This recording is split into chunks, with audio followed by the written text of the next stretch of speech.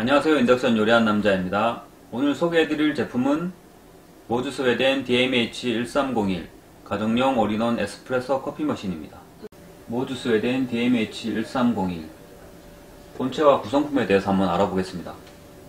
본체를 먼저 살펴보면 아이보리 색상과 bluish green이라는 색상으로 두 가지로 나와 있고요. 제가 오늘 설명할 건 bluish green입니다. 본체를 먼저 살펴보면 위에는 원두를 보관할 수 있는 이렇게 소포라고 하죠. 원두 보관 통이 이렇게 달려 있습니다. 그라인드에 꽂는 이렇게 통이 달려 있고요. 소포 같은 경우에는 완전 밀폐형이 아니라서 그날 쓸 만큼만 하고 단계는 이렇게 15까지 있고 최대 20까지 단계 조절이 됩니다. 이렇게 써주시고 내가 원하는 만큼 단계 조절하면 되고 그 옆에는 이렇게 핫플레이트라고 해서 커피 추출하기 전에 이렇게 컵을 워미, 워머, 워머에 올려가지고 따뜻하게 해서 커피 맛이 더 좋아진다고 하거든요. 그래서 여기 워머가 있고요. 그 옆에는 이렇게 잘 보이진 않는데 이렇게 tamper를 올려줄 수 있는 공간이 이렇게 tamper를 올릴 수 있는 공간이 있고요. 이렇게 그리고 전면에는 single shot 버튼 그리고 double shot 버튼 그리고 압력 게이지 그리고 manual shot 버튼 그리고 descale이라는 LED가 있는데 descale LED는 커피 machine을 청소해야 될 때를 알려주는 LED입니다. 그리고 옆에는 파워 버튼이 있고요. machine을 이렇게 돌려보면 우측에 스팀, 온수 이렇게 선택할 수 있는 다이얼이 달려 있고요. 뒷면에는 2300ml, 2.3리터까지 들어갈 수 있는 대용량 물통이 달려 있습니다. 물통 같은 경우에도 그날 쓸 만큼만 쓰고 내일 물을 버리고 따로 건조해서 보관하는 게 좋습니다. 그리고 본체에 보면 이렇게 그라인더 좌측엔 그라인더가 위치해 있고 가운데는 에스프레소를 추출하는 그루패드 그리고 우측에는 스티밍하고 온수를 받을 수 있는 이렇게 밸브가 달려 있습니다. 그 아래쪽에는 물통이 달려 있는데 보시면 한쪽에는 커피 가루를 받을 수 있는 그라인드 밑에 커피 가루를 받을 수 있는 커피 가루통이 달려 있고요. 그리고 한쪽에는 물을 받을 수 있는 물통입니다. 이 물통에는 에스프레소를 추출하고 떨어지는 커피를 모으고 그리고 이렇게 solenoid 밸브라 해서 압력이 찼다가 다음 모드로 바뀌어 압력이 쫙 빠지는 게 있어요. 그때 들어갈 수 있는 물을 받는 내부에는 물을 받는 물통으로 사용합니다. 물통은 꽉 차면 이렇게 빼서 버리, 버리고 끼우면 되고 한 가지 더 보면 한쪽에는 이렇게 바스켓을 보관할 수 있는 비밀 공간이 있어요. 바스켓 비밀 공간이 있고 옆에 한 가지 더 서비스 팁인데 이렇게 보시면 보이시나요 이거? 바늘이 달려있죠 이렇게 이게 뭐냐 하면 이렇게 밸브가 우유 스티밍 한 번 하면 막힐 때가 있어요 제대로 처리하면 그럼 이때 밸브를 뚫어주는 이렇게 밸브를 뚫을 때 쓰는 핀이 달려 있습니다. 청소 도구입니다. 이렇게. 그리고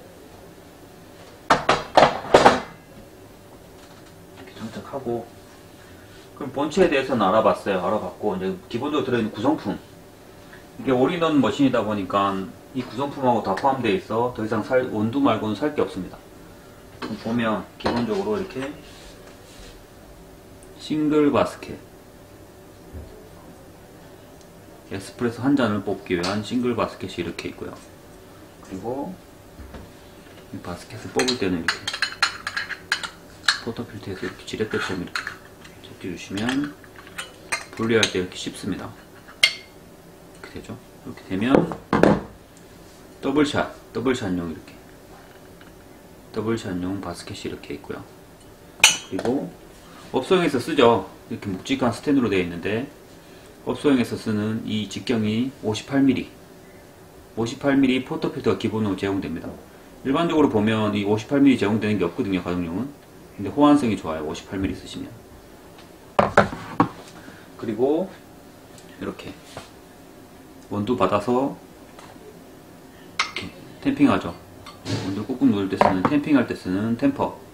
이것도 풀스텐이라서 무게감이 무게감 있고요 좋습니다. 이것도 좋고 그 또 마지막으로 또 주어지는 게 뭐 있냐면 이렇게 바스켓을 장착하고 그러니까 그라인드를 사용해서 이렇게 이렇게 아래로 누르면 커피가 받아지는데 커피 가루가.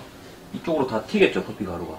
그때 이렇게 저처럼 초보자들이 사용하기 쉽게 이렇게 자석이 달려 있어요. 자석이 달려 있는 팀 방지 링이라고 하죠 이렇게. dosing ring입니다. 자석이라서 달라붙어 있어요. 이렇게 해서 놓고 이렇게 가루를 추출해서 이렇게 하면 튀지 않습니다. 이렇게 쓸 수 있는 dosing ring이 있고 거기에 마지막으로 이게 jug라고 하죠 jug. 물을 담거나 이 우유를 담아서 steaming 할 때 쓰는 건데 이게 따로 사려면 비싸요 스텐이라고 풀스텐 제품이라서 좋습니다. 그리고 350ml 용량이고 일반적으로 기존에 쓰던 것들은 이보다 용량이 좀 더 컸어요. 근데 여기 딱 이 머신에 맞춰져 나온 것 같습니다. 스팀도 잘 되게. 요거까지 주어지니까 이 머신을 사고 사야 될 거는 원두밖에 없어요. 원두만 사면 됩니다. 구성품을 살펴봤고 실제로 커피를 뽑아서 얼마나 맛있게 잘 나오는지 한번 알아보겠습니다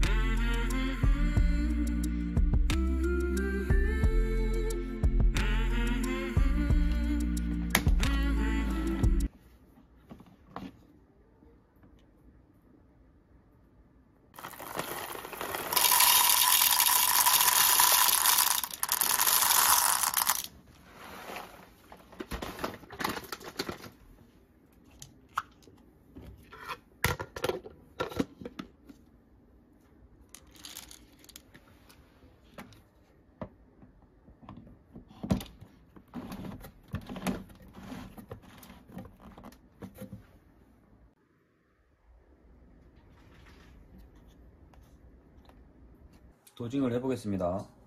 double shot portafilter에 double shot 필터 이렇게 장착을 해주고 튐 방지 링을 이렇게 사용해서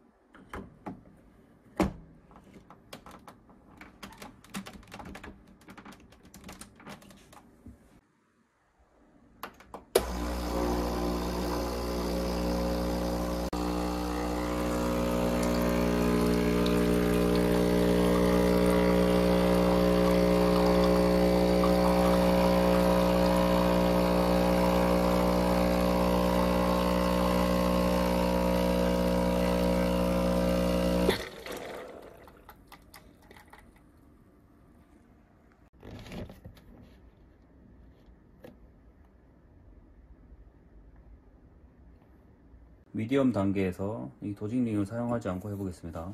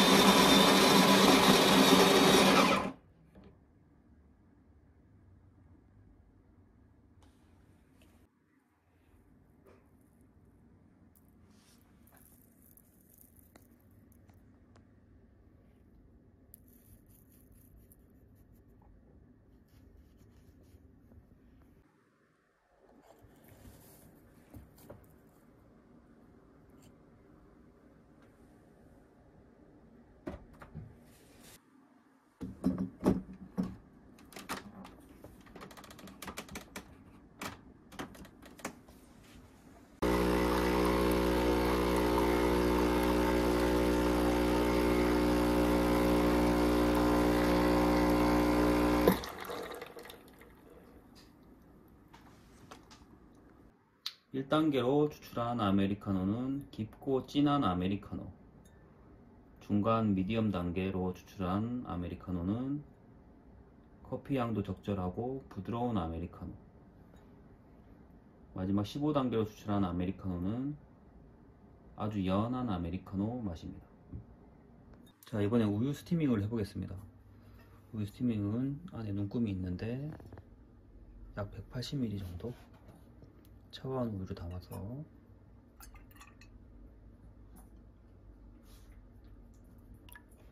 담고.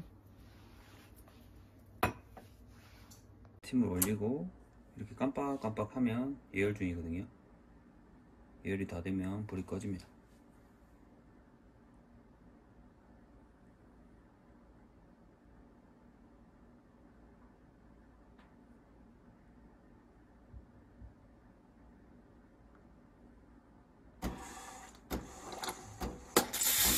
스팀이 나오기 시작하면 담그고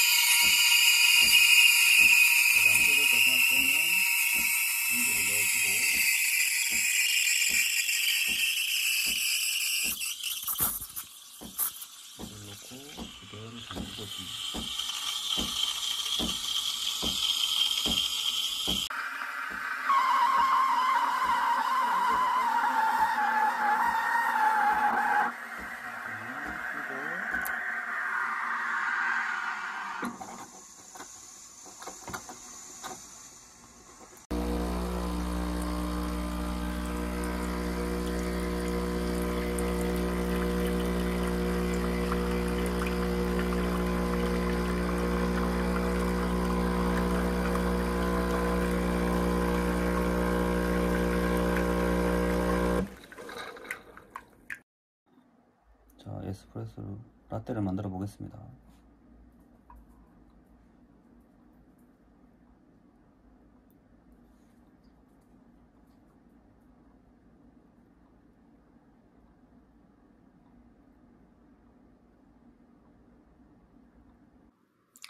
아, 제가 라떼 아트를 도전해 봤는데 저는 솜씨가 없어서 뭔지 모르는 추상화가 나와버렸네요. 여러분들 많이 연습해서 멋진 아트 만드시기 바랍니다.